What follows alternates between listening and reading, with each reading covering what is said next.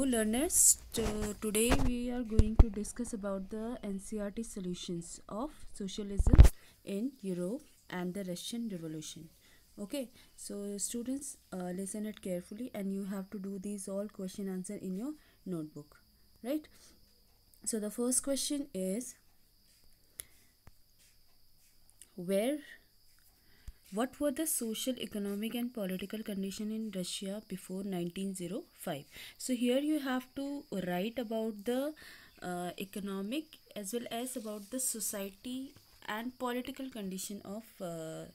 russia before 1905 5 so as i said to you students the social economic and political condition in russia before 1905 was backward here and social conditions at approx you can see here 85% of russia's population was that depends on agriculture right? So industry was existent but rarely in which most of the privately owned workers were divided on the basis of their occupation क्योंकि यहाँ पे मैंने आपको बताया था कि जो ज़्यादातर यहाँ पे जो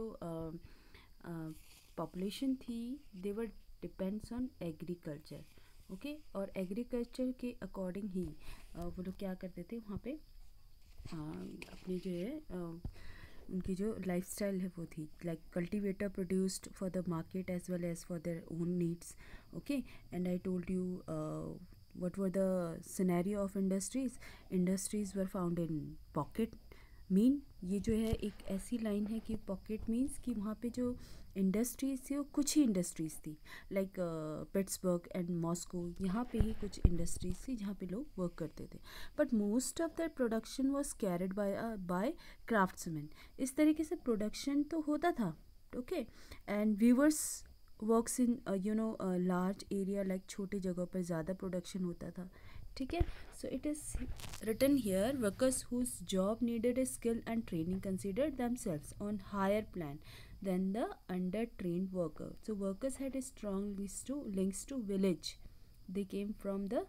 also caused a social divide among workers right and the second is about the economic condition uh, russia was going through bad period economically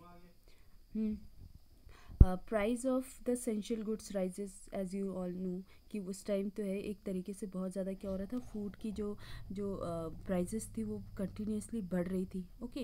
and Pittsburgh strike वहाँ पे कुछ स्ट्राइक्स भी होने लगे थे इंडस्ट्रीज़ में दोज हुआ working strike started at a series of events okay? So like these points important points you have to mention. And the political condition क्या थी कि political parties were illegal ठीक है पॉलिटिकल कोई भी पार्टीज़ कोई फॉर्म नहीं कर सकता था। It was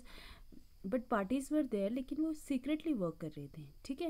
एंड uh, जो मार्क्सिज्म का जी के जो आइडियाज़ है उसको फॉलो किया जा रहा था जो भी पार्टीज़ वहाँ पे थी। स्पेशली जो आपके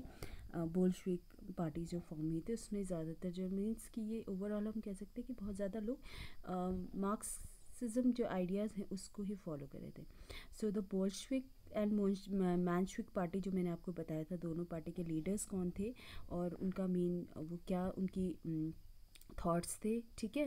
You all have to write about this then the second question is in what ways was the pro working population in Russia different from other countries in Europe so here you have to write students about the industrial workers कि वहाँ पर industrial workers की क्या condition थी? okay and then many workers had settled in cities permanently but uh, many had strong links with the village form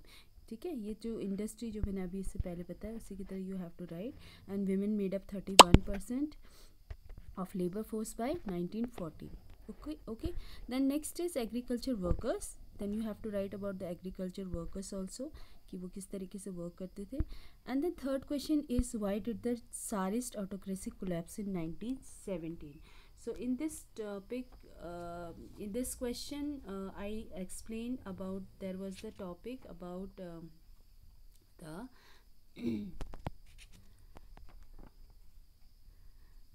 the topic was uh, revolution after no, revolution of october 1917 right the tsarist autocracy collapse in 1970 due to the following reason तो main यहाँ पे reason आपको लिखना है कि because it has mention why so miserable condition of workers industrial workers in Russia got very low wages okay so some points you have to write regarding this miserable condition of peasants की किस तरीके की condition थी फिर Russia's defeat in first world war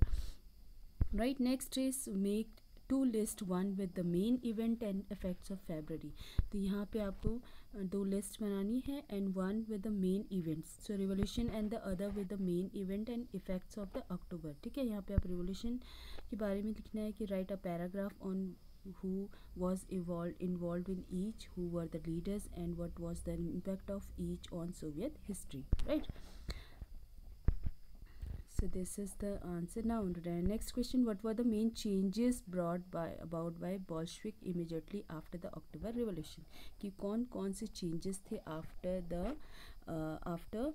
October revolution so यहाँ पे मैंने आपको मेन आपको बताया था कि लाइक फ़र्स्ट वाज बैंक जो कि आपका अप्रैल थीसिस में मेंशन है वही चीज़ों को अप्लाई किया गया ठीक है उसमें ही में इम्प्लीमेंट किया गया so banks and industries and nationalised land was declare social property distribute redistribution कर दिया गया। And urban areas houses were partition according to the family requirement जिसकी जितनी रिक्वायरमेंट थी, उसके अकॉर्डिंग पार्टीशन कर दिया गया। Old